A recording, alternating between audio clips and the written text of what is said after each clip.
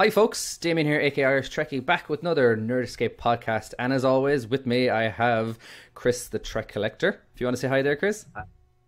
Hi, guys, and thanks for joining us yet again. And we have somebody interesting with us today. And I'm going to let Damien do the introduction because this fella is very special. He brought me a wee, met him in Birmingham at Destination Star Trek Europe, and he gave me this little gift and a stand for my Deep Space Nine, I must add as well. So, Damien, if you want to introduce our guest today probably goes without saying, really. I think everyone knows Dave already. Um, Dave is the founder of uh, the unofficial Star Trek uh, Collection Facebook page, um, which is an absolute gem of a community. Um, so active for anyone who uh, is into their ships, and especially the Eaglemoss collection as well. So check out the description beneath the video. I will leave a little hot link there to bring you over, and um, yeah, definitely you're going to enjoy. So, uh, Dave, welcome to the Nerd Escape podcast. Thank you very much. Uh, long time listener, first time caller. Happy to be here. good stuff, good stuff. Nice introduction. and also, yeah, he's like, you're a wicked 3D modeler as well, as uh, Chris was showing there, uh, with the little tiny so. defiant. yeah. Yep. It's, it's not just uh, that your your your webpage was a brilliant idea and it's great community. And guys, if you want to find out where myself and Irish Trekkie might be hanging around, uh, daily because it's just such a great page for information. It is definitely that page, and we will post a link. It's very good. So anyone that is actually collecting the Eaglemoss collection should actually jump onto this Facebook page. It's a great journey. You'll meet great friends. Um, you know what I mean. Dave does actually great competitions as well monthly with uh, oh. photographs of pictures of starships. I just realized today's the first of the month. I should have done one. it's it's still the first day. It's still the uh, first day technically. Uh. someone has to someone has to take Niels off his uh, perch. yeah, that's a tough job. so, gentlemen, uh, the reason I wrangled you all here today, um, we got some concrete news about Discovery this week um, or technically last week by the time this video goes up, um, with casting calls and uh, three confirmed actors um, being named on the Star Trek website for Discovery. We have Doug Jones, we have Michelle Yeoh, and we have Anthony Rapp. So, gentlemen, are, are you are you excited that we're starting to get actual news about Discovery rather than only a little teaser trailer and then the theories of the internet going wild. yeah, absolutely. I think they've casted so far so good. Um, I'm very happy.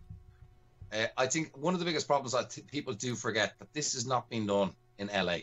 This has been done in Canada. So this is a new move. So, mm. you know what I mean? To get the actors up to Canada is a big thing. So this is not straightforward just going out and, you know, who you have in mind and they do seem to be very selective. They seem to know who they want. So the other side of it is it's it, it's you know it's not being filmed in the Paramount studio. We know that much. So yeah, so far so good. Just hope they can add to it. I think Doug Jones is fairly good because he's used to well we're used to not seeing his face basically. He's yeah. covered under a mountain of makeup, which mm. is great for him because he knows what he's getting himself into. Uh, Michelle, I think, is a wonderful actress, and uh, Anthony he's a Broadway actor. Uh, it's worked before in the past, and I look forward to having him on the show. Uh, it's great getting the, the, names, and I'm sure over the next few weeks we're probably going to start seeing more and more cast members join the crew. Cool. Yeah. And Dave? Oh yeah, um, I agree absolutely with Chris. Um, personally, I'm not familiar with all three that well, mm. but I know Doug Jones the most, and he's always been been great in his the character creature performances. So he's playing a creature again in Discovery, so he should ace that. Michelle Yeoh is just, from what I've seen of her, she's a very commanding actress. So playing a captain should be second nature, hopefully. And Andy Rapp is a mystery to me, but like you say, he's a Broadway actor, so a lot of great Trek actors have been theatre actors. So yeah, again, natural fit. Awesome. Yeah, I think there's some very good observations there, and like that, I would definitely subscribe to what you're saying as well. Um, what stood out to me was the, and it's it's hard it's hard to kind of really put a finger on it, but I think it's these three are quite clever uh, castings in my opinion. Um, again, we had quite great success with theatre actors in Star Trek because there's a a presence being brought to the screen, a commanding uh, force, and like Michelle Yeoh also, um, like we've seen her in um, Crouching Tiger, Hidden Dragon. Um, she's on a Netflix series as well. Like the name escapes me at the moment, but um, her maturity Polo? coming. Which sorry, Dave? Marco Polo. Uh, no, it's I only came across this. Oh. I think it's something Bo or ah, let, let us know in the comments below. I I, I do apologize, but um, she's going to be um in a captain's role. So again, very commanding, and she is a, a very established uh, actress actor as well. And like you brought up there, gentlemen, um, we have Doug Jones who uh, was in Hellboy, uh, Pan's Labyrinth as well, which were very substantial prosthetics and actually suits um, in there as well. And um, so he's going to be very comfortable in an alien role if it's very heavily um, augmented as well. So um, yeah, exciting times. And what I'd like to talk about now is obviously we've been hungry for a lot of information for a long time now, and Discovery's been pushed back to May. But what information we do have, we could actually kind of toy around with and see what that means. Um, for example, we have Doug Jones. And I'm just reading off the, the Star Trek website, and I will leave the link in the description below. But um, he's been named as Lieutenant Saru, if the pronunciation is correct. Um, we know that he's a Starfleet science officer and an alien species new to the Star Trek universe. So, bit of a bold move. You know, he could have possibly been an established, like, there's plenty of aliens that we've seen. Um, but uh, a brand new alien to be introduced and uh, being a science officer as well. We've seen plenty of alien science officers in Star Trek. What are, you, what are your thoughts? Yeah, the science role is, to me, okay. It, it, I, we don't know if he's going to be on the Discovery. Um, to me, this is always the hard position to kind of fill.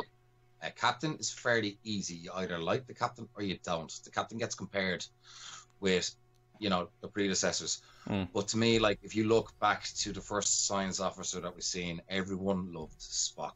Yeah. The next generation, we had Data. And um, then we had Jadzia Dax, which was a very, very smart move. And then in Voyager again, back to tactical and not so much science, but you know, we had the Vulcan present again of Tuvok. Mm. So we've always had that character that kind of goes for a Spock type role. So it is interesting. Will he be playing this? So the science officer role for me is a very, very hard character to get. If they're the head scientists on the bridge of Discovery, that to me is a very, very big role to play. Mm. Um, I think. Uh, did you guys see the Comic Con panel that Bryan Fuller did when they announced Discovery first time? and he was yes. speaking very, very broadly, but very also very specifically about the optimism of Star Trek and the idealism of Star Trek and how they're looking to bring a more optimistic vision of Star Trek compared to, say, I don't know, DS9 or maybe the JJ films, After the Darkness. Mm-hmm. I think having two two science officers speaks to that fact that hey, we're going to have the significant part of the show be about discovering new things and the unknown rather than blowing crap up. So uh, back to the, the fact they're leading with two science officer announcements gives me optimism that they're going to really stick mm-hmm. to that message of optimism and progressivism, and the yeah. future is bright, so to speak. It's yeah, it's a very good way to see it. Yeah, because we have Anthony Rapp, um, who was uh, noted as being Lieutenant um, Stamets, I think is the pronunciation of that. I could be wrong again, but um, he is the second Starfleet officer. But one thing to note, and it was something that Chris brought up as well, he's the only actor here that has been documented as serving aboard the Discovery. So potentially, yeah. Doug Jones may be serving on another ship. Possibly the other ship that we know in the universe that's been confirmed is the Shenzhou, which is being mm-hmm. captained by Michelle Yeoh's character. So, um, yeah, I think that's a good interplay there that um, it's kind of going to the exploration side of things rather than being a protagonist and antagonist kind of always having a battle or something like that. We're going out where no one or no man has gone before um, as well. And interestingly enough, kind of moving away from Doug a little bit, um, Anthony Rapp's character uh, is down as a fungus expert, specifically noted fungus expert. And was it astronomy? Astromycologist. My, uh, astromycologist. Sorry, yeah, the astromycologist. Um, so fungus Well, expert. written down, I don't remember that off the top of my head, by the way. I knew I got you on here for some reason. but um, yeah, a fungus expert and science officer uh, on board the Discovery. So um, yeah, so and I know these are only the three first characters, but uh, do you think there's a reason why they said fungus expert? Possibly not, but potentially. Again, we don't know much at the moment. It's all stabbing in the dark, but Mm. who knows? Um, There, there could be a reason behind it. yeah. You wouldn't know. and it could be just a red herring as well. Um, like I'm thinking back to the brief bits of information that the likes of Bryan Fuller and um, Nicholas Meyer kind of leaked out every so often, and um, we know that Discovery happens ten years before the original series, and it deals with something that was mentioned in Star Trek but never seen. So it's it's it leaves the door wide open. To be honest Let's with you. Let's let's have a look at that timeline at the moment. And this this is established canon for the moment. Now, as we know, canon can change once it shows up on TV. But at mm. the moment, as it stands, 2153, Mirror Darkly, we have the Tholians. Okay, and that's kind of with the Mirror Universe, you can nearly turn around and say similar timings. Okay, so the Tholians we do know are around. Earth's Romulan War is 2156 to 2160, so that has ended. Now, I still believe that the Romulans can still play a big part in this because I do not think the Romulans will just disappear. Um, yes, the Federation won't know about them, um, and I think that would be very, very cool. Bit of espionage, secret Romulan in there could be very good, or even seeing the Romulans plotting behind the scenes, maybe trying to influence the Klingons to start a war. I think that would be very good. But anyway, the 2161, the NX01 retires, and we have the start of the Federation.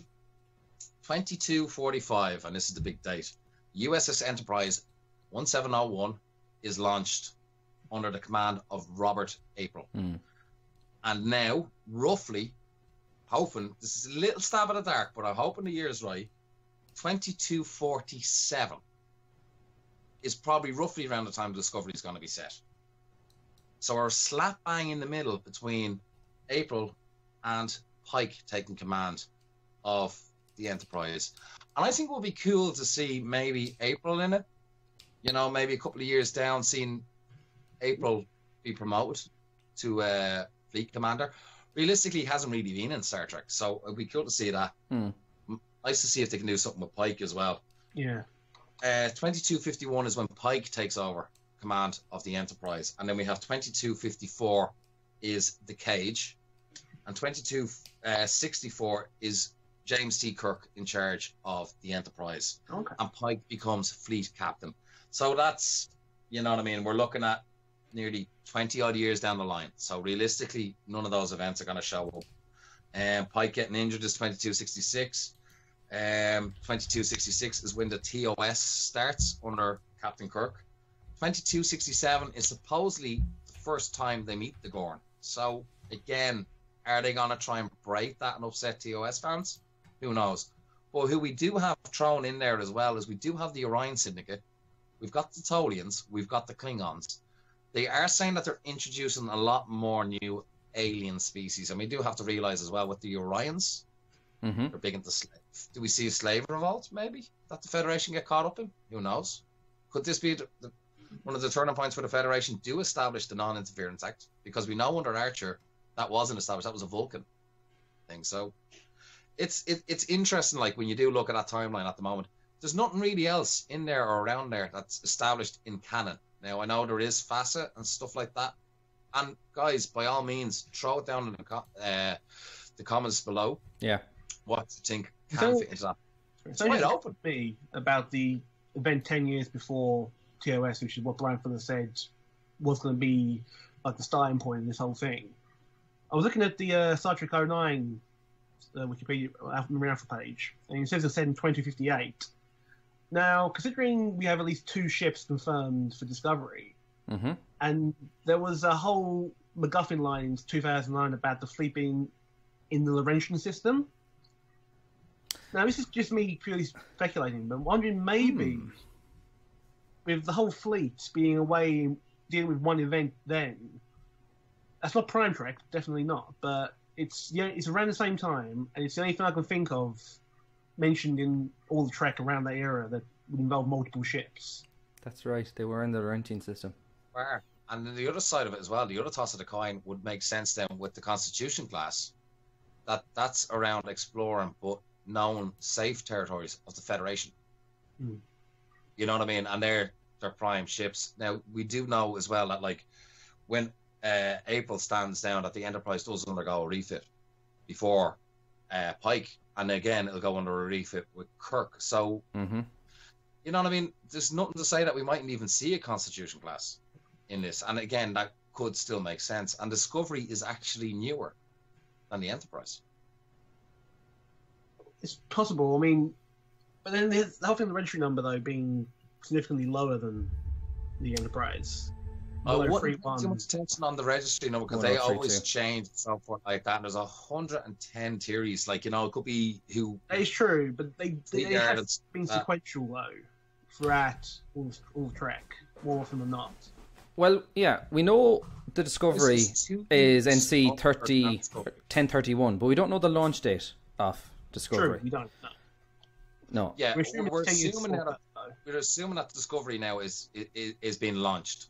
That's that's yeah. an assumption now, no a fact. Yeah, is it but launched in the first episode? Is it going to be a brand new ship being launched, or is it an established ship that we're coming into? Because like launched. with with the with with TOS, obviously the Enterprise had gone through April and Pike did the refits and stuff like that as well, and we have quite okay.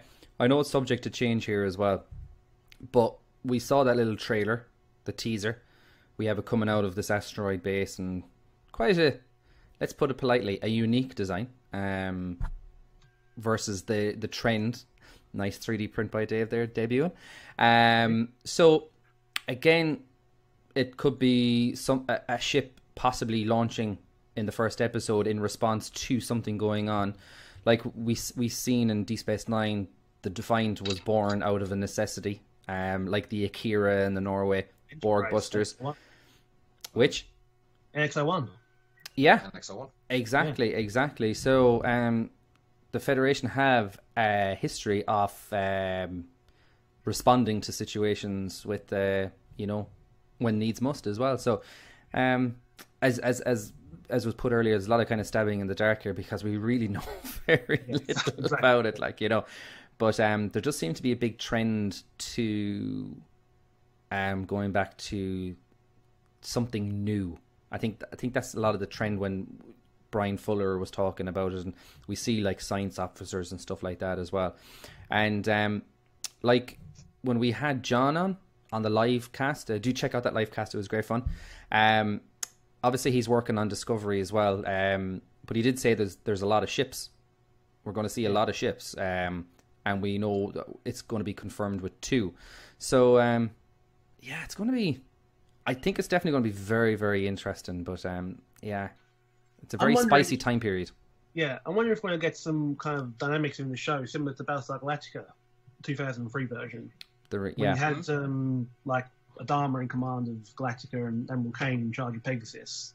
Mm. I, I, I, would. That was like very aggressive and hypercharged. So maybe Trek wouldn't go quite that exact route but a similar kind of.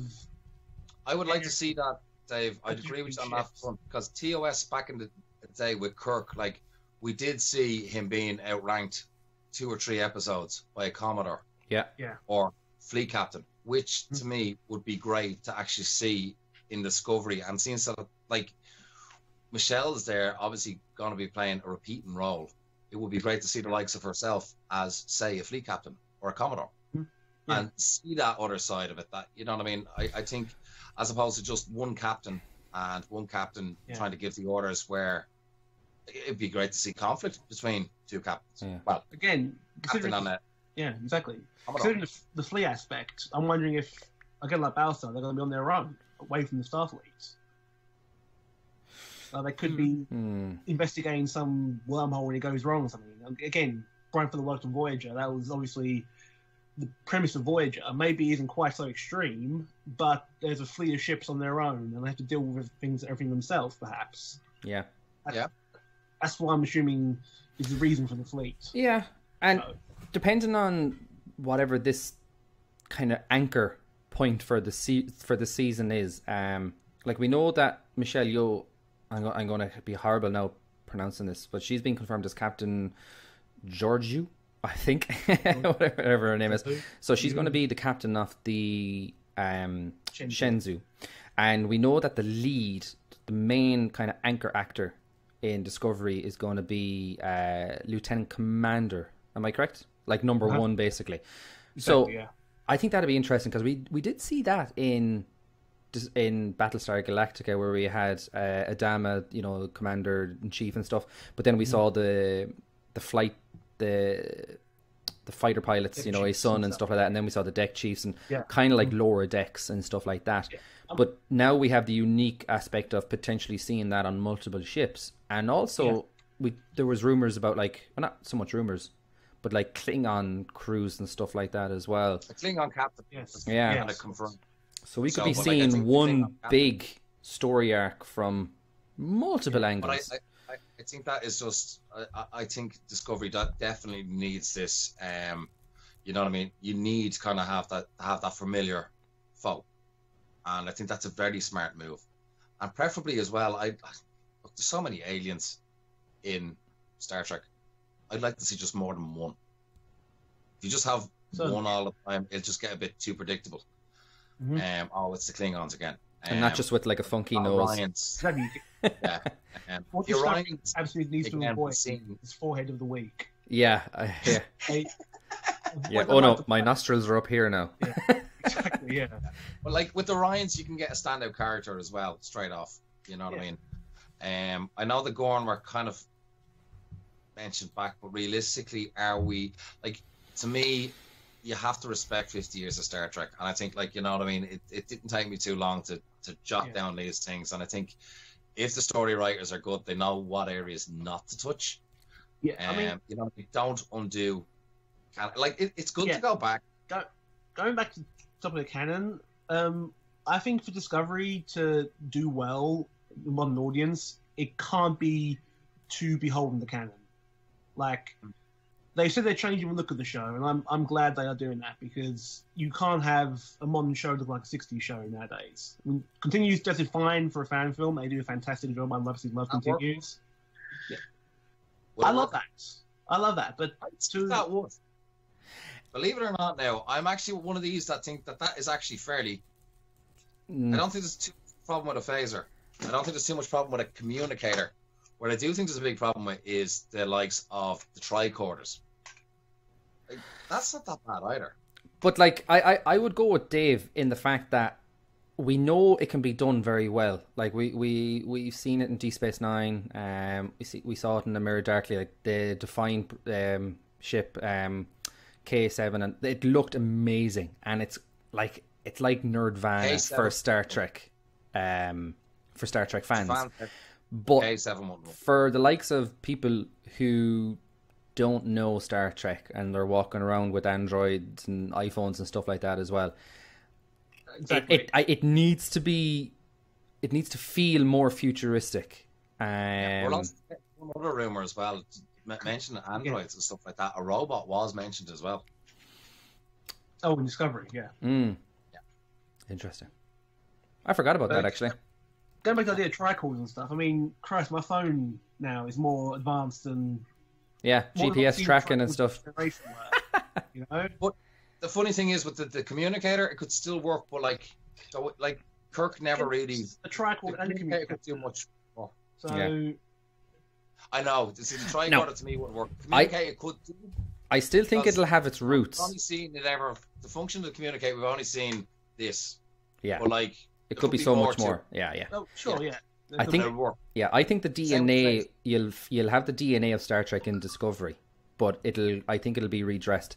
And if I was a writer on Discovery, um, to give them creative freedom, I think it'd be a very bold move to have the protagonist be an already established alien. I think it's, it'd be easier for them to have a new threat because then they're not bound by canon and they can kind of go off in their own creative. I think whatever. Though, when you, when you do look at canon set at this time, there is not too much to upset. You know what I mean? And you can build on what Enterprise established. Yeah, but then you're beholden to TNG and Voyager and Deep Space Nine.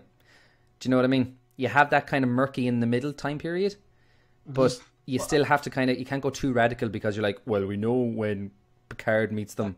I think that's the crux of it. You, you, you can have familiar elements, but you can't be too radical. Yeah. I, I think Discovery will end up being a lot like the JJ films were, but not quite in the direction of ultra cool, but more in the direction of ultra real. Yeah. But Believable. Going back to disagree think... on something, right? The Cardassians, TNG, were not mentioned until the Cardassians came into it. And it was only then, with an episode with Miles O'Brien. Uh, what, what, episode was it? The Phoenix, where all of yeah. a sudden these, these Cardassians are really, really bad, and the Federation Cardassian War. You know that came out of nowhere. So they can do stuff. You know, it's just just because it wasn't mentioned in the next generation yeah. does not mean it didn't happen. Like well, you're sitting around the ready room and you're going to bring up this big massive war that happened in 2247. I know what you mean. I know what you mean. But like to use the example, we know the Cardassians are total you know dips dipshits. you know, they're they're they're they're they're great bad they're great baddies with f- fantastic necks. But like you're not going to see them picking flowers in Discovery. Do you know what I mean? Like you're not going to see them singing singing harmonies and stuff like that. And saying to the Cardassians, you don't have Cardassians picking flowers. See, that's the thing, though. I think if you might have the Cardassians picking flowers and being all peaceful, you have to say it after Next Generation if if you want to have the Klingons be a warrior monk society, like in the uh, J. Mark Straczynski pitch, if you want to have the traits be different, you go after everything else. Yeah. You don't go before. Yeah. So that tells me you're going to keep getting the Klingons are going to be like.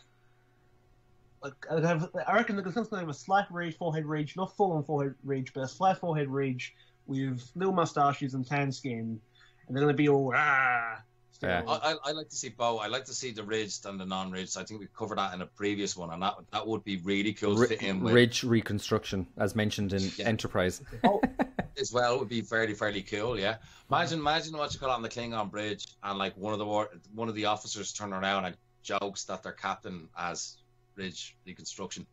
Again, getting tired Botox. I don't think you'll see that is because then some someone goes haven't seen someone has the Enterprise and go what does that mean? He looks like a human. Yeah. Yeah. Hmm. Yeah. Again, you got to look at it from the view of someone who hasn't watched Star Trek before. before. And I, I, think, I think that's the main target. Like, obviously, I yeah. think the, the, the, they, they, they already know that they're going to get Star Trek fans watching it, but they want to get the new people watching it mm-hmm. as well. Yeah. Um, and come here, I'm I'm an old fan, and I want to see a love for Star Trek. I know us I, I, will yeah. criticize fairly quickly. But you pointed out, Dave, as well, a fleet ship's gone into an unknown territory of space, and that opens up the storyline so much. And how does the Klingons fit in? They're Who trying knows? to take this territory for the Empire. So yeah. you know, straight away, Federation or, trying to grow. Or there's a great threat that threatens both the Klingons and the Federation. They decide, hey, this this is big, bigger than both of us. We've got to work together on this. Yeah.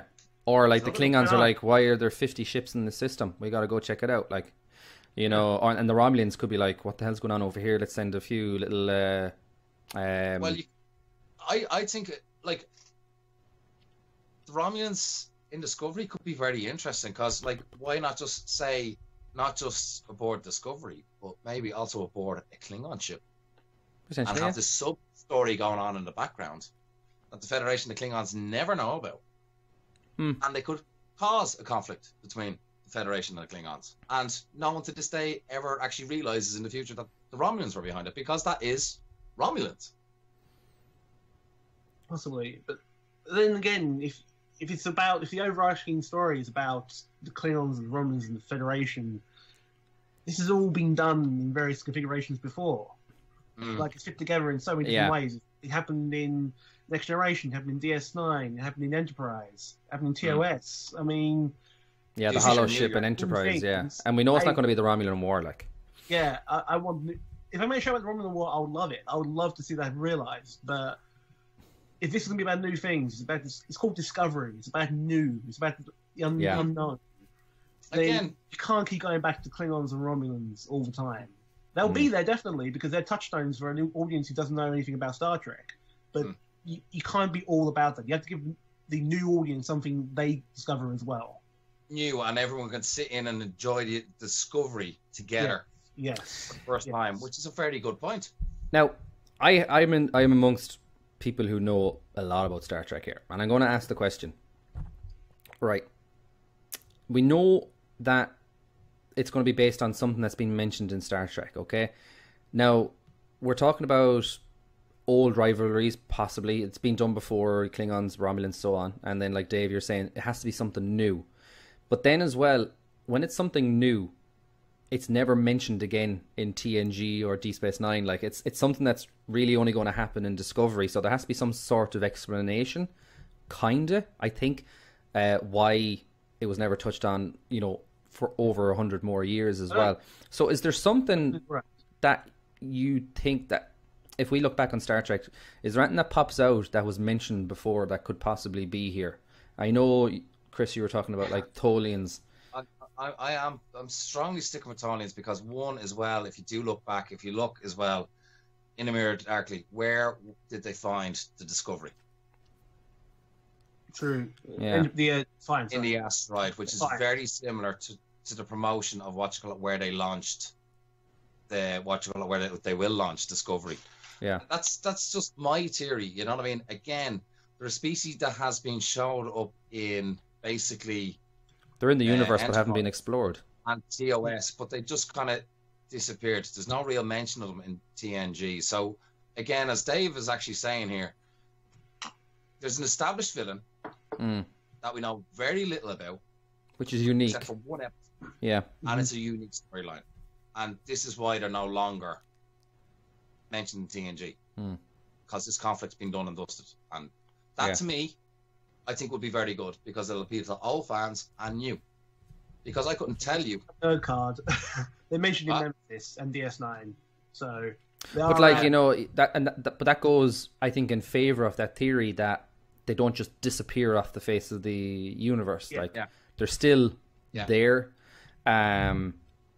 So that that like that has a pretty good weight uh, of a theory, I think. Um. What about yourself, Dave? What, what are you thinking? Are you thinking it's just going to be something completely I, new? I went through Memory Alpha, trawling through the timelines, and Same. all the years, looking for any little thing I can think of that happened ten years before TOS, and for the life of me, I can't find anything substantial. I know. I, I've watched. I'm going through all the episodes. There is someone, someone, someone said about how Kirk says someone report this to Discovery, report to Discovery, oh, something Oh, really? like that.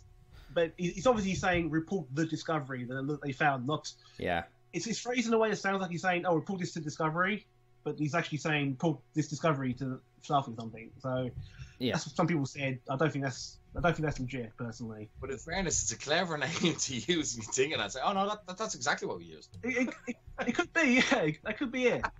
Even then, it's just they're just saying Discovery. They're not really talking about There's an anything incident- specific. TNG. What was the name of the race that supposedly uh, the Federation, uh, our, our favorite one, with uh, our, our lovely Irish friends taking over the Enterprise D. Uh, they were on a planet and Picard had to evacuate them.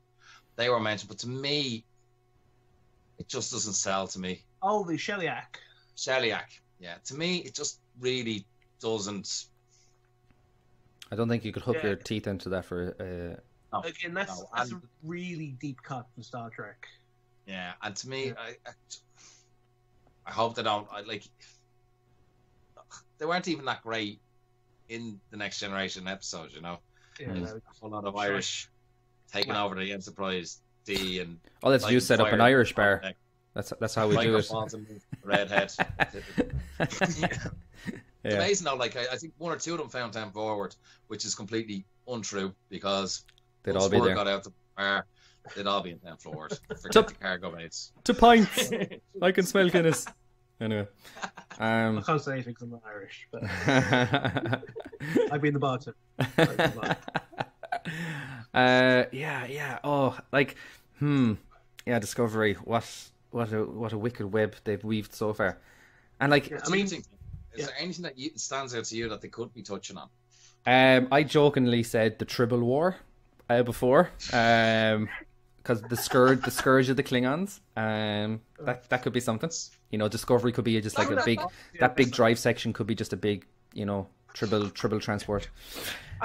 That would be actually. I'd love to see that touched on in Discovery. You know that I would love it. That's gonna be awesome. TOS. I am sorry. This is how the Tribbles come into TOS. Just do yeah. an episode on that.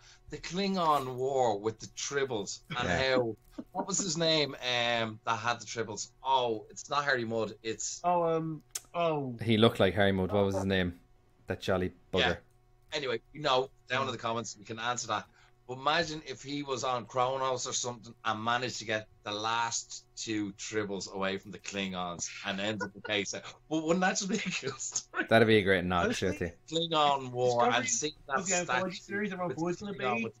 I'll absolutely watch an episode about that. it was an anthology series.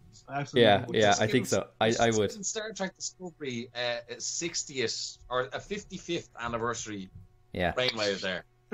Um, Kling Tribble War, please. I'd love it. But uh, if if I was if I was being serious on the subject, um, honestly, I, I, I really I don't have any kind of concrete details, but my inkling is that it's going to be something, uh, some new faction, new alien, new threat that we've never seen before, but just happens to have similar players in the game Klingons, um, Andorians, Tellarites, whatever. But the whole kind of drive of this is from a new threat from somewhere. That is definitely compelling multiple ships to be involved yeah. in or something like that. But um, other than that, I, I have no concrete details. Obviously, we've talked about our theories. Uh, we've talked about the cast and kind of everything in between and what we're kind of hoping to see as well. But, gentlemen, the one thing that we all share in common other than Star Trek is our love of ships. Indeed. I've actually I've I've been prepared for this one now. I'm looking at ah. what we have about explosion starships. His little Wolf three five nine on the desk there, yeah. yeah. This is the Romulans from which we don't think the Romulans Romulans realistically shouldn't feature because Romulan War is over and that's done and dusted. We shouldn't see the Romulans. That's the one from Enterprise, and this is the one from Balance of Terror. Now, this supposedly was new. It's the first time they've seen this one, so that is definitely a no. Hot from the showroom. Discovery from the show. I know this is a fan favorite, and this is what everyone would love to see just in the distance. And I guess just have to show her again, but we'd love to see just that doing a flyby. Doesn't have to even be mentioned, just have it in the background would be cool. I think everyone would love to see an NX. Make it canon. yeah, yes, yes, make it canon. Um, we've got the Tholians. Mm-hmm. Again, like you have to realistically, and it's a fair point now. And I'm, I am a big, I like my TOS, and I know the points that you are making, like what kind of will look well in this day and age to appeal to the new viewers. That could work. Well, yeah, but like yeah, definitely. Yeah, you, you'll see. You need something bigger behind it. I think. I think you need a big, big cruiser or something like that. That's more threatening, and maybe they drop down. Potentially. Or you just have a swarm like in Beyond. Yeah. Yes. So yes. cool. That'd be cool. That'd work really well. Imagine we seeing, imagine seeing a little, uh, a little wing of Tholians making a web. Oh, that'd be so cool. We have the D7s now. I don't think I like the D7 a lot, and it's it's always one of my favorites, and I, I think it's just beautiful. It's just simple, but I do not think the D seven. Discovery though. Yeah. The one we saw anyway, the concept. Mm. Yeah. It's very similar. Not exact, but very similar. Yeah. But then again, you know, there was the facet theory that at one point the Romulans came up with this by stealing the Federation ship and using that technology, and that's how they came up with the the warbird. There's nothing to say that the Federation I've seen this. Didn't do something went, similar, yeah. Let's copy it. That to me makes a sound sense. Mm-hmm. We've also got. Is that gonna work? No, I don't think so. Like we honestly, the, the, some of the shuttle was in JJ or Kelvin ver- version track are very similar to that. Yeah, very exactly. similar. It just tweaked up and tweaked, but very similar. That's a great point, Dave, and they would work. Yeah, and, and they look cool. Have to hand it to JJ. They were cool. They, yeah. I think this is a definite no-no. Sorry, Mike. Mike Okuda, I think is it's the only one that he did, but uh, yeah. it's not going to hold up That's in this. That that and the Antares.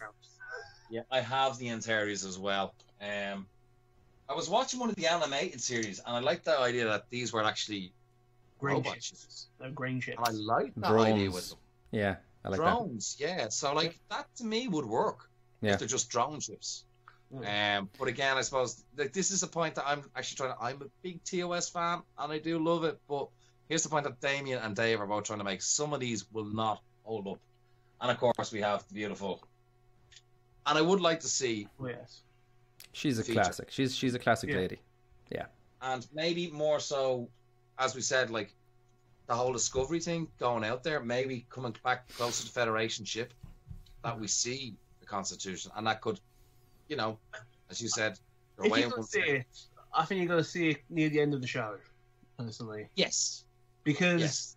thinking, from what we know from all the behind the scenes stuff we've learned about Star Trek past, all through Next Gen, all through Enterprise. Yeah. Enterprise had to have a ship that was before Kirk, but couldn't look too close to Kirk's ship. We were using Kira class, which is mm. just. You're gonna. Like, they can't throw that in there straight away. And if they do, it has to be earned. I think you can't just go straight to it and have it be a glimpse. You have to earn the appearance of the Enterprise. I think, personally. Mm. So yeah. it'll be there, but not straight away. Question that I'm going to ask in the comments below: Do people agree? Could this fit in? I do think it can, and I do have to say that if you do look through the TOS episodes, all we ever seen Kirk use this for was Kirk to Enterprise. And don't forget, don't forget, he used to twiddle the knobs. Yeah, but there's nothing to say that this device could do more. Hmm. I, think in Discovery, you're definitely going to get someone do this a lot. Absolutely, you're going to get something like this, this kind of motion. It's not, it doesn't going to be communicated. But you know, remember as well, we do have to look at the events of the cage as well, and that communicator wasn't established then. Yeah. So I suppose now we're looking at in many ways that communicating from the cage is like miles beyond anything I've seen in Star Trek. yeah. It's like yeah. a clear plastic thing with a bunch of random circuits inside that couldn't possibly work. Yeah, yeah. That's more than anything else I've seen in Star Trek. Crazy. Phaser, and I believe at this point they're using lasers. Oh, they're gonna call them phasers. They're gonna call them phasers. Yeah, I think they should say that. That to me now, I think I do agree. Um, I know you know, you're you're breaking a bit of canon there. But to me, yeah, call them phasers. Um, I think that would work. I wouldn't be too put off with that now. You don't think, Damien? No, you think it's now it's outdated. You'd rather see something like. I absolutely love the design, but I just don't think it's going to play well to people who don't haven't seen Star Trek before. Mm. For Discovery to work and be success, it has to be Game of Thrones. Yes. And Game of Thrones does not just appeal to people who are into fantasy works. It yeah. appeals to everyone. Yeah.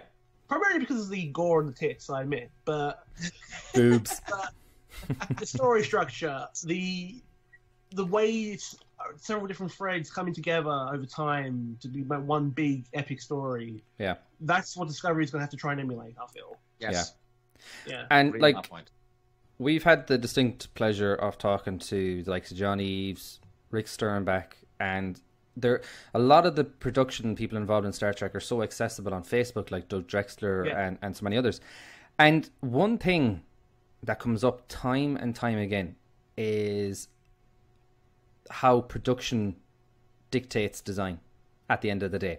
Like we're talking yes. about Star Trek, we're talking about canon, we're talking and and in a good way as if it was real. Do you know what I mean? But yeah. it's like why does the Enterprise D look like that? Because it was broadcast in four by three, not sixteen by nine. You know why? Why was there no great detail on TOS ships? Because again, the resolution wasn't there. It was yeah. cheaper. You know, they didn't need to render out full stuff. Here we are, 2017. We have Ultra HD. We have streaming. Okay. You know, it has to be it there has to be detail. There has to be mod. Yeah. Is is modern modernity a word? Possibly, maybe not. Maybe I just invented it. But it has to appeal to like millennials and stuff like that. It yeah, has to, it has to feel like it's in twenty two fifties rather than the the twenty seventeens and stuff like that. Now, I do I do believe the DNA will be completely honored in, yeah. but they're going to they're going to deal with kind of canon as well. And like when we look at the teaser trailer, like the only visual things that we've seen from Discovery are the logo. Okay, we have the split badge. Okay, mm-hmm. interesting material. It has this kind of like abrasive. Uh, kind of hatching bronze. across it. dirty bronze look. Dirty bronze look, exactly. Um, kind of classic retro kind of um, font on it, and we know how important font plays in Star Trek. I hate that font. I'm sorry. It's yeah, interesting. it's not good font. No, I'm just trying to pull it up there. I, I can't remember exactly it's, what it looked like they, again. They use the same font for the as well, like cast, and you can't read half of the cast names properly. It's such a terrible font. I think you you made a very fair point as well. Like when you, you bring in production uh, producers and stuff like that, you know what I mean. And the very like Doug did come up with a very and I shown this before, but like yeah, that yeah, for the NX-01 one mm-hmm. would have been fantastic. But the situation was they said it looked too similar. Exactly. You show you show that to anyone on the street, and they say, "Oh, that's the Enterprise from the '60s." Yeah, yes. and that's why Discovery has to have a different profile. Yeah. Oh, I know. I agree on that one. I'm just backing up the point where you yeah. say where a producer yeah, can come around and say, mm. no. My only issue with Discovery is that the profile is too simplistic. I think that's we know that's too, change. too thin and it's like a H from the side, kind of. Yeah. kind of actually. I never noticed that. No, it's, grain of salt. This is early. That was early work rushed oh, oh, out. Absolutely, absolutely, it's been changed since then. So yeah.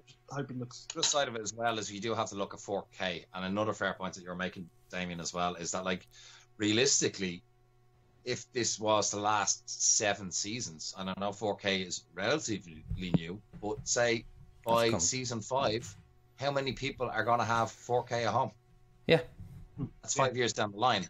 So if you're missing those details, There's also the fact 4K. that this is supposed to be a Netflix production as well. It's, it's a fact that Netflix are paying for ninety percent of the cost of the show, and it would not surprise me if uh, the very idea for the show came from Netflix instead of CBS. It'll probably come up as a Netflix original or something. it definitely does in, where it's on Netflix. So all Netflix originals have been showing 4K to my knowledge. Mm-hmm. They're all available streaming in 4K. Sorry, Discovery absolutely will be available in 4K when it releases on Netflix yeah. wide. Mm. So even though you have like the classic beauty of the Connie, okay, you're going to have to have a detail. And like when you see this live, you, you can see from your end now, but I have a top-down shot off the Discovery um, from the trailer, um, just as a back in here, and at the time, like you see the inner ring, very similar to the likes of the Franklin. A lot of homages there, uh, homages, um, but it's undeniable that the inspiration was the and I think Dave has a fantastic. As you can see, Dave is a wizard with a 3D printer. Um, we have Ralph McQuarrie. very basic models, so not detailed at all. not not 4K ready. I'm sorry. but um, there is a similarity there. There is a similarity. Yeah, yeah. And like Dave, that model that you're holding there, the Ralph McQuarrie one, that's a Canon ship because we saw yeah. it uh, on, in TNG.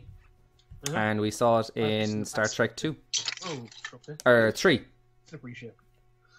Um. So, like that. That's an interesting one with the kind of the the, the really severe pylons yeah. and then the larger nacelles, um, or the more cylindrical nacelles as well. But it's it's interesting and initially, and I'm going to put my hand on the, my heart here now. When I saw the trailer for Discovery, I went, ugh like the ship was like, I just went ugh. Um, it was my instant reaction. Um, but it's grown on me. Now oh, I I can't wait to see what she debuts in May, but it just it, it got me thinking. What's the ship? It's not just another Star Trek ship. It's not just like the drive, nacelle, pylons. It's like there's something. This ship looks like this for some reason, and why does it look like it for some reason? I, um, I, I think you're spot on there, and I think realistically, I think we all looked at it and went at the start. But mm. I think right. they've made such the smartest move to do this. You know what I mean? It's different straight off, and it's back in your points away from a TOS fan. It's it's different. You know what I mean? Yeah. And it has been established in Canada. Yeah. Part of, the, you know? part of the reason why I did not like Design Discovery was I watched the trailer very. I remember coming home from a friend, out with a friend, frame by frame. my phone. I was like, load, load, goddamn it, load. I watched it, and after finished, I was like, well, I've seen that ship before. Sure, yeah. yeah. For Planet of the Titans and Phase Two. Mm. So that's not a new ship to me. That, that's yeah. a ship from 30 odd years ago, four years ago now. So that, that, that probably only applies to me because I knew that ship before the Discovery teaser. Mm-hmm. So did I. To me, I was just like, oh, that's not new now. That's, that's something that's been done before. Mm. Yeah, I think, well, like, the three of us here are big into our, our ship designs, and we well, knew yeah. that, that, ship. We've seen it before. But realistically, I think they're being smart in the sense that we know nothing of her we haven't yeah. seen her do anything, and I think it's inspired curiosity. Back, taking something that was originally concept work of Star Trek, the original series, to develop her down the road, they're using it. So I think Definitely. in one sense they're paying homage to yeah the next the next step that would have been the original series if mm. they went with either Phase Two or if they went with Planet of the Titans. Personally, all I want on Discovery is these pylons, the upward pylons. Just a little bit of upward pylons on nacelles. You don't want the kind of Voyager esque. Nah, yeah. that that just looks too simple to me from all angles. It just looks like it's missing a piece. Mm. Mm. I think we'll have to wait to see. See, that's it. Like what we're talking about here now could be completely irrelevant to what we're going to see, but all we can do is talk about the trailer, you know. And she's. I, I believe Martha has said they've changed the nacelles at least on the on the ship. Yeah, we we yeah we definitely know it has come out that that was very. They have admitted, I believe that. It was yeah. it was rushed to feed the frenzy that was like, oh my god, Star Trek Discovery. I think that was the biggest problem with that trailer. Yeah, was the fact that it was rushed, and again, I think it was made in three days. So. It it looked it looked it. I, I saw better I saw better ship demos from Star Trek Online. you know, I, I have to say when I got the news when I heard the news, and I know it was a bombshell for most people, when this got pushed back, I was absolutely, for one, delighted. And I thought, for once, hang on here, somebody has put their foot down and started using their heads. Because whoever gave the okay just to launch that San Diego Comic Con, like, that's a disaster. And it, it's not what people wanted. You know what I mean? It's been, when was the last time, the last episode of Enterprise aired?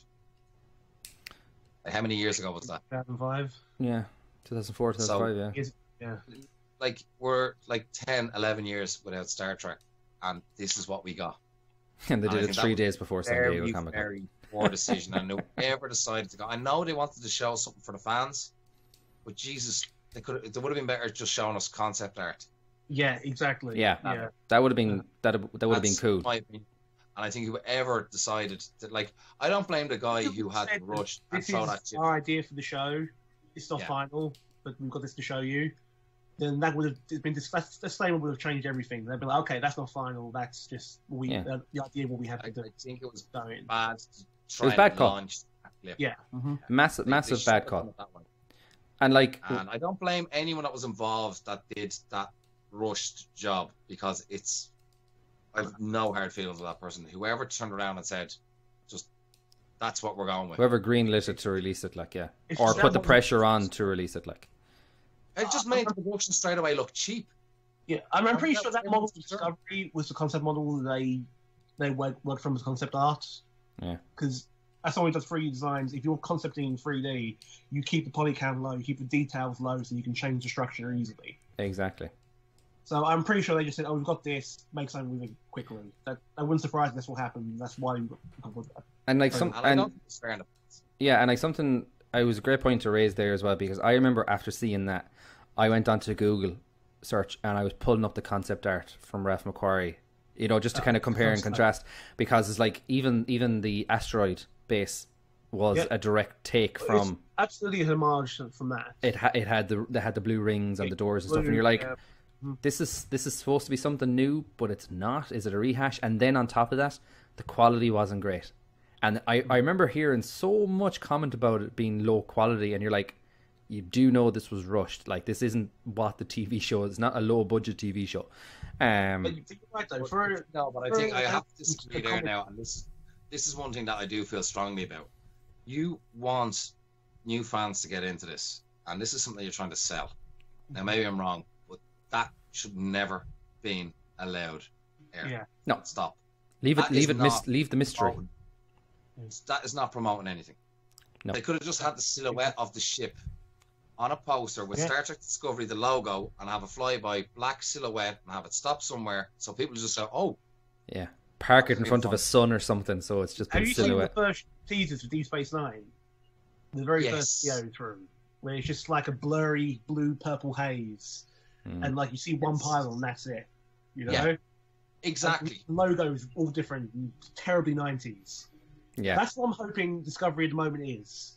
But Really, like, I'd- you- I'd say it is. I'd say it points. The promos for Deep Space Nine, it looked as though it was a Hollywood production. It did not Oh, look as yeah. though it was done in somebody's bedroom. And True, yeah. How do you sell something at the start? You got to realize if you, if I was producing a movie and that was rushed out of my movie, I just I, I want to kill the person who said, "Yeah." That's like what? We don't have HD cameras. I'm sorry. Uh, it- it- yeah. very bad decision. Now, on one sense, it did get the internet going Oh, absolutely. for absolutely. the wrong reasons. Mm. I mean, this Discovery. Sure, the people making Discovery know that we are begging for any drop of information because th- these three people that are announced as cast members, that that set the internet on fire for all the Trek, Trek communities. You know? Oh, And that's just their Twitter followers jumped. Yes, exactly. exactly yeah. Yeah. So, he's. and all we know still is they said ten years before Discovery, and he stars these three people now. So ten, 10 years before TOS, and it stars these three people. That's, That's all we know still. The lack of information, crazy. Yeah. And like So- that, like initially it was meant to air uh, in in a month's month. time, Small. Yeah. Next month, You know? Yeah. and even now, like it's meant to air in May, and all we know now is three cast members. Like, Yeah. you think, and by, by judging by their comments on Twitter, because I was I obviously naturally follow Yeah, follow Anthony follow Rapp's Doug he's- Jones, follow Anthony Rapp. They're like, finally, I can talk about this. So, Yeah. this isn't new. Like this isn't. They didn't just get hired like the day before. Um, Not the day before, but I, think it was fairly problem recently. there is getting Yeah. the actors up. I think some of them kind of. Which You have you got to realize that like L.A. is the place where most people go to become an actor, and now all of a sudden you're you, you know a lot of these guys are being asked up sticks and go But to a Canada. lot of shows are being filmed in Toronto nowadays. it is the Yeah. second. Like Hannibal was filmed there. and That was Bryan Fuller's last Yeah. show, and that was filmed. That was a very beautiful. moving show. away, but show. still at the same time is to try and get somebody to move. You know, it, Oh, absolutely, yeah, absolutely. easy. Mm. And again, you got to realize this is not Game of Thrones. This is, and I hate to say it, but it's No, Star yeah. Trek. I I would love to see Star Trek get up to that level. Um, I really hope Discovery will. I think, it, you know, I do think there's enough people behind it that you know they do know and they do love Star Trek that they can make this really, really good. But at the end of the day, is with an actor, it's one of those things that they know. Signing on to this is kind of like, ah, this could be the end of my career. I could be, you know, going to conferences, and you know, and that that is a very hard thing to break away from somebody. Mm. Now, I think so far the three casts that we have got are fantastic. Mm. I'm over the moon by that. And like I'm these are three established actors Yes. as well. So like if we go back to the likes of Voyager's actors or Deep Space Nine actors or TNG, like obviously we have some I'd say established actors there. Space Yeah, Nine. yeah, definitely. Any of them were already established. Yeah. Like, No, like the uh, you look, the only established actors that we'd know would be the likes of the actors that would play recurring roles Yeah. in It- Star Trek. absolutely would not surprise me. Discovery follows the formula again. Battlestar Galactica laid out. We have two, two or three principal actors like Edward James Olmos and Mary McDonnell, Hmm. who are big actors who- who are known. But then you fill in, you bring out people from the background, like DS9 did with Rom and Leeta, Yeah. and Pete Nog, and Battlestar Galactica did with Cally and all the other background actors who became major characters in the show. Hmm. I would love to see one or two cast members from Battlestar Galactica jump on this project. I would love to see sci-fi actors jump on this project because I think you will. I think huge. you will. You know what I mean? And if they could get them, you got to realize as well that science fiction people do like, and like Stargate SG One. Um, you've got Battlestar Galactica, as you just mentioned there. You think if you get an actor from Battlestar Galactica to go on Star Trek, yeah, they might watch Star Trek for the first time. Yeah, maybe we drink. but like, I saw this. Uh, there was a couple of comments brewing on on my own Facebook page as well. Um, Scott Bakula showing up on like the first episode or something as a cameo. You know, that'd be kind of yeah, kind of interesting. Like we we had like DeForest Kelley, um, sure. Picard showed up in Deep Space Nine, um, and obviously well, we had some kind of calm stuff. But even though I said in the Prime Universe, I think they want to disconnect from from old Trek. I think. I think they're sending in Prime Universe so they can say to the, the hardcore fans like us, like, "Hey, we we, we get what you're saying. Yeah, we know you play in this world, which is the world you're familiar with. But at the same time, they're saying we get that, but we have to make conscious efforts to disconnect from that yeah. as well. Because the Enterprise wasn't Prime Universe, technically. yeah, if want to split hairs, it was. Well, yeah, well, that's what canon's all about, isn't it? we know the Borg incident. Yeah, contact. so that that just puts a kibosh completely. The entirety of Enterprise was not Prime Universe, technically speaking. um, but yeah, interesting. Trekkies, Trekkies can dream. Um, but yeah. Well, I would. I, I really would like to see crossover actors, sci-fi actors. I think it'd be fantastic. And that'd be kind of cool. Oh yeah, like there's there's great actors out there. And... Oh yeah. And, and and a signature of a great actor is that it's not like you're bringing um over like the character to Star Trek. You're just bringing the actor, and that actor owns their new character. You know. Yeah, and they know what they're getting themselves into. they know what what's going to happen to them because mm. they're used to going to the conferences and stuff like that. But I would like to see more sci-fi actors involved in this. Yeah, yeah. Mm. And like one thing I like about them, and I know it's still kind of it appears to be very late in the day with them announcing, but like we saw with um, Voyager, um, what was her name? Remember that that she was she she looked good in the promos. Remember the French lady who oh, was yeah, like she was yeah. she filmed and worked with the cast, and then obviously um, Kate Mulgrew um, took over there as well. So. Um, like these guys don't appear to be going anywhere now. It'd be very no, surprising if they left the project at this stage. Section of Anthony Rapp both Michelle Yeoh and Doug Jones, especially Doug Jones, have worked in sci-fi before. Mm. Michelle Yeoh was in Sunshine, which was a pretty well-respected sci-fi film in the last ten years or so. I like Sunshine. Doug yeah. Jones, Hellboy, Pan's Labyrinth. He's a fantasy actor through and through. Mm. So That's happy with the cast. Yeah, I'm happy, but they, they are casting from genre role, genre yeah. actors mm. at the moment.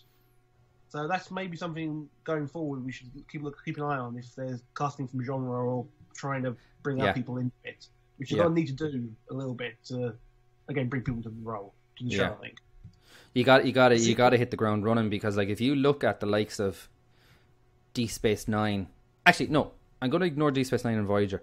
If you look at TNG, TNG, in my opinion, radically changed from season one to season seven.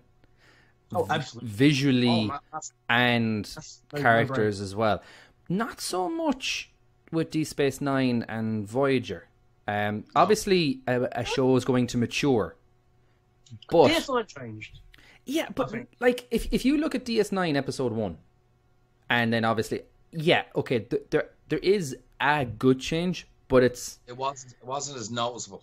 Yeah, as season, season four, fair TNG, points is massive compared to season one, the first three seasons. Yeah, I, I do, you do tend to see it in these Space Nine, and like I think the mark of any maybe just thinking visually, season four. Yes, it changed yeah. a bit, but maybe you're right about characters and stuff. Yeah, yeah.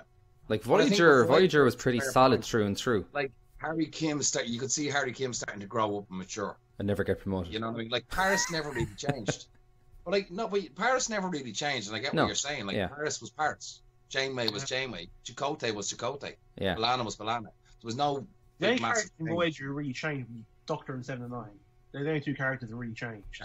Yeah, yes. but and, and again on purpose because they were you know mono. Yeah, oh, yeah, oh, yeah. yeah, yeah. And, uh, but I know what you mean. From yeah. production standpoint, them two were the human analog characters. Yeah, because the human is no longer human on Star Trek, so you need the analogs to display the emotion and the.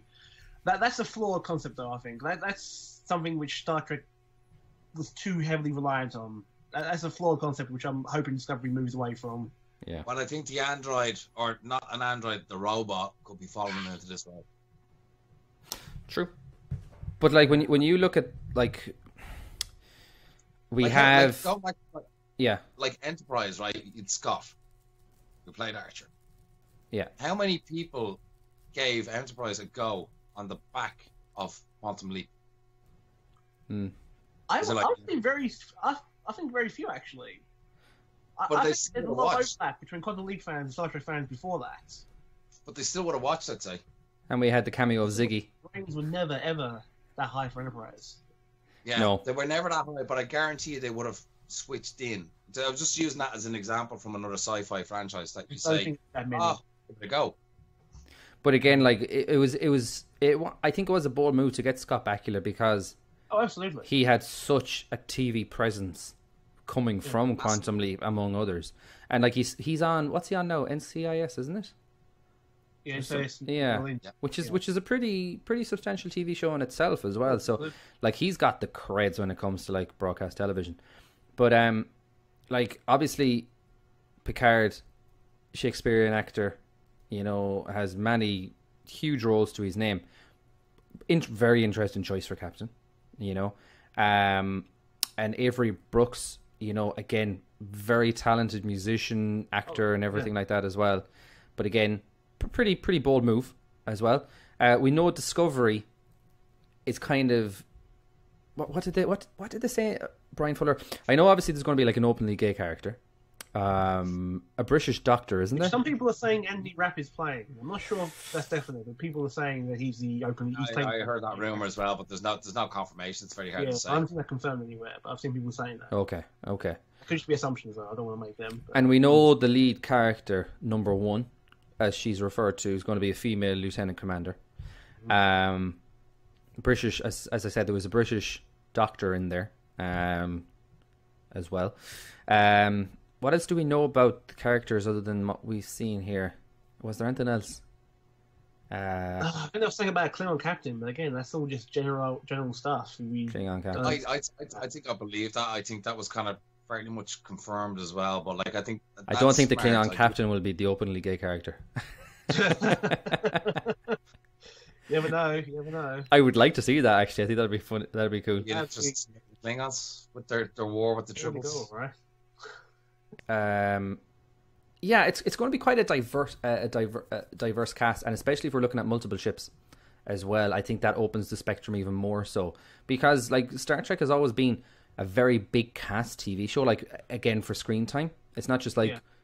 like for example like Castle or, or or other TV shows where or like Doctor Who where you have the Doctor and the companion. To you have a whole bridge crew and potentially even more here now rather than just I, being the captain. With Discovery, you're gonna get instead of like seven or nine main actors like you had on Gen through Voyager Enterprise, you're gonna get four or five or six big actors, the yeah. main characters, and then about ten background, not background, not extras, but like background actors who are there that they can pluck from every now and then. Yeah, yeah.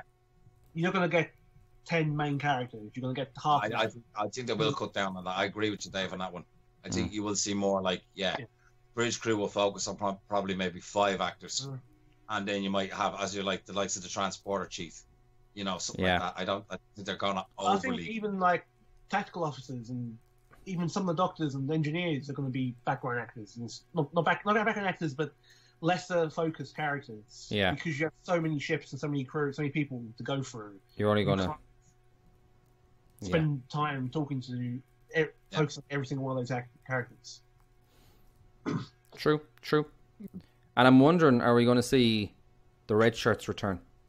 Are we going to have our beam down sacrificial cast uh, crew? Absolutely. Have to. In that time frame, you have to. yeah.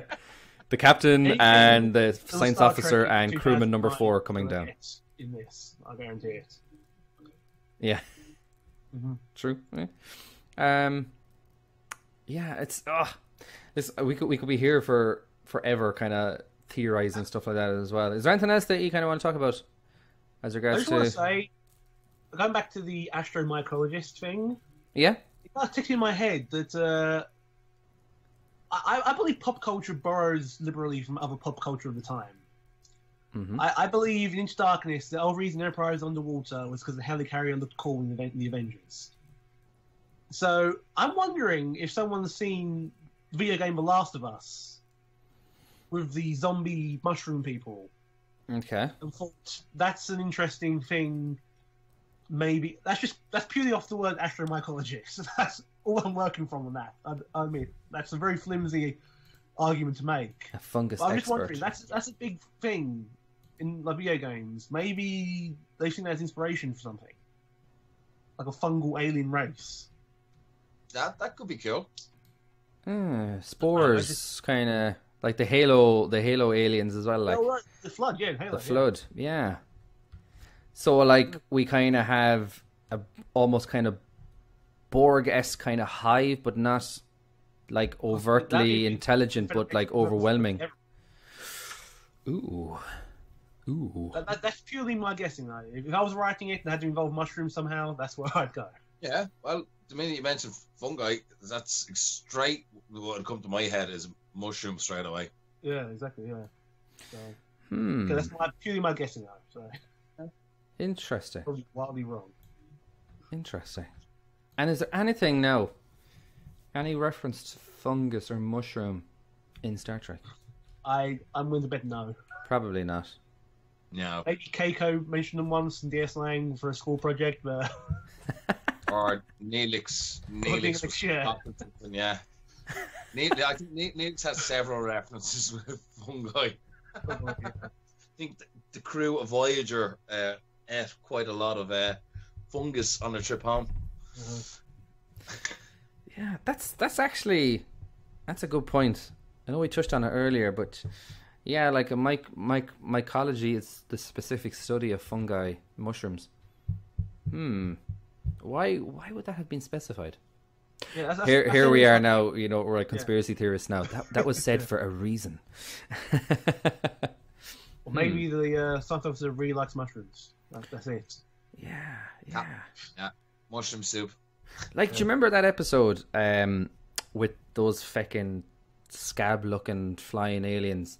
Um, Oh, uh, the TOS. virus. Oh, Yeah.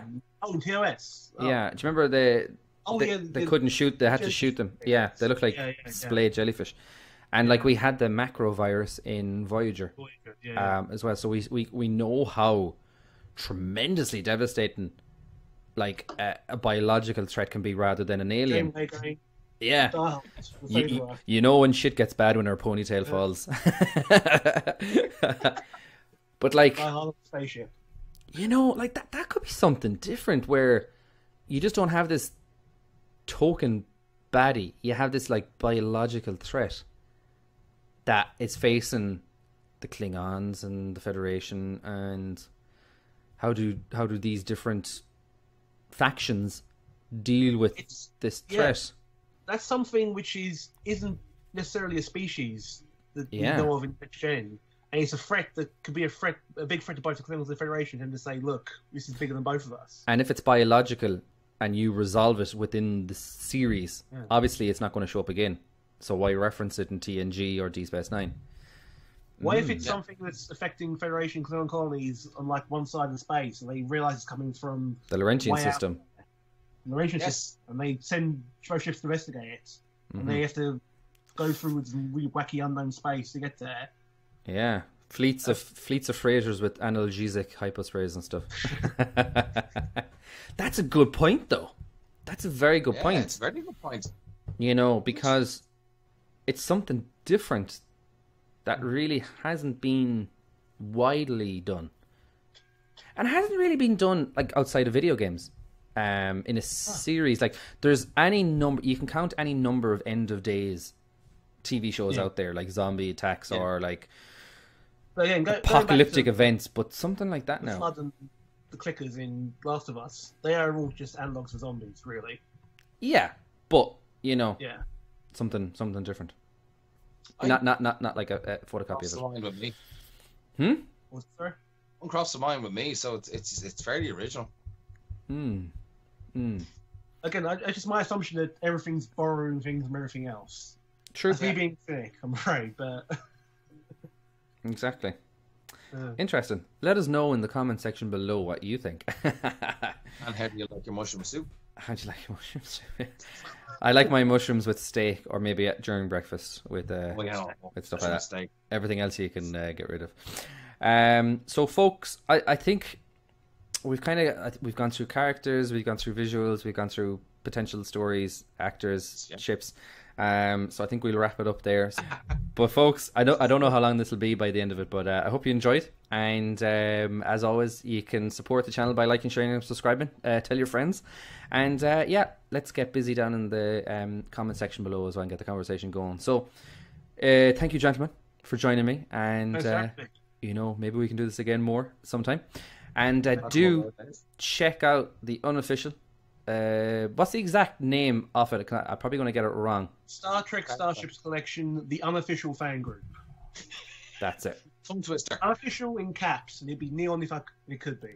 Exactly. It's for the ship's enthusiasts, not affiliated to Eaglemoss in any sort of fashion. I'm actually on that site more than the Eaglemoss one, believe it or not. It is, it is, it is, it is a great bed. There's, there's some very good yeah. information finders on that website, um, uh, and as well, like you know, the likes of Nils and uh, posting these pictures and Colin, mm-hmm. and um, Ezo for kind of getting those quick uh, promos out. Yeah. But after we're done here, I'll be posting a cover contest for uh, competition this month. The cover of the uh, page changes every month. So if you're good with Photoshop or just taking pictures of the models, feel free to submit an entry, mm. and you might win and have a picture of up there for the month of December. You win the kudos, which is quite priceless. Um, so, Dave, thanks for joining me, and Chris, again, thanks for joining Save. me again. And uh, listen, I've been Damien aka Irish Trekkie, and uh, thanks for watching. And I will talk to you later. So it's goodbye from me. And goodbye from me, the Trek Collector. And goodbye from me, Dave Cohn. Thank